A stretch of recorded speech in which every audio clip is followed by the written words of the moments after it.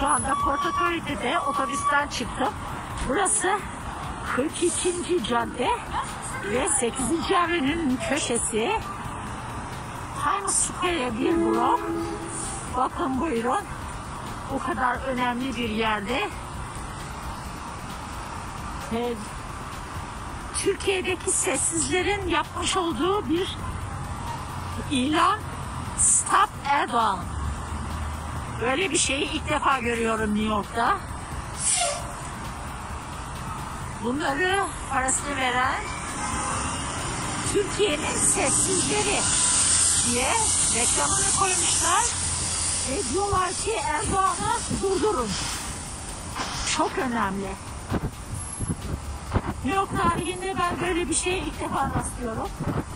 Burada bu ilanı vermek kim bilir kaç paradır. Ama milyonlarca insan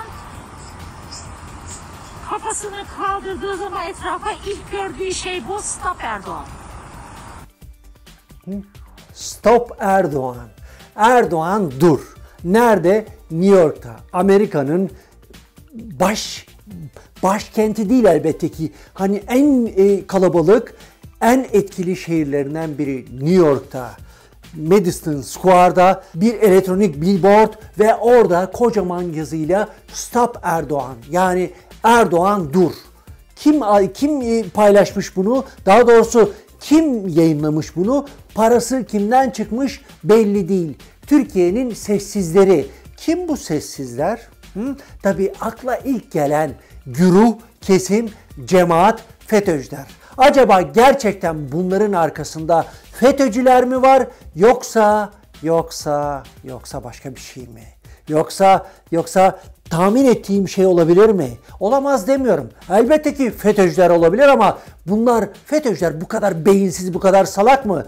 Böyle bir şey Türkiye'de Erdoğan'ın ve yandaş medyanın kendi lehlerine iç e, siyasette malzeme malzeme olarak kullanıp bundan bir mağduriyet yaratabileceklerini düşünmez mi bu beyinsiz cemaatçiler, beyinsiz, akılsız FETÖ'cüler? Muhtemelen düşünüyorlardır ama sanki bana bunun arkasında da mağduriyet yaratma çabalarını ortaya atmaya çalışan kesimin olduğunu düşünüyorum. Biliyorsunuz iktidarın, Sayın Cumhurbaşkanı Erdoğan'ın ve yandaşın mağduriyet yaratma konusunda ne kadar uzman olduğunu söylememe gerek yok. Her şeyden, hemen her şeyden mağduriyet yaratıyorlar ve bu video sosyal medyada birden patladı ve Twitter'da trend topik oldu. Herkes bunu konuşmaya, herkes bununla ilgili yorumlar yapmaya başladı ve hedef kitlesinde FETÖ'cüler, Pensilvanya'daki o FETÖ haini var ya onların yaptığını söylüyordu herkes ama benim tabi bundan e, çok emin olduğumu söyleyemem. Dediğim gibi Türkiye'de hemen her şeyde mağduriyet yaratma çabası içerisinde olanların kimler olduğunu söylememe gerek yok. Evet mağduriyet çıkar mı bundan? Hiç zannetmiyorum. İşe yarar mı? Hiç zannetmiyorum. Twitter'da bir patladı patladı. İnsanlar tartıştı. Ondan sonra tabii insanların benim gibi düşünenlerin sayısı da bir hayli fazla. Acaba acaba bunu yapanlar iktidar yanlıları olabilir mi? Dediğim gibi yandaş medya ve iktidar kanadı bu konuda çok mahirler. Mağduriyet yaratma konusunda çok becerikliler ama artık deniz göründü ve bitiyor. Birazdan film, film bitecek onlar için. Birazdan yani birazdan dediğim bir süre sonra birkaç yıl içerisinde onlar için film bitecek ve jenerik yazıları akacak. Yukarıdan aşağı ya da aşağıdan yukarı.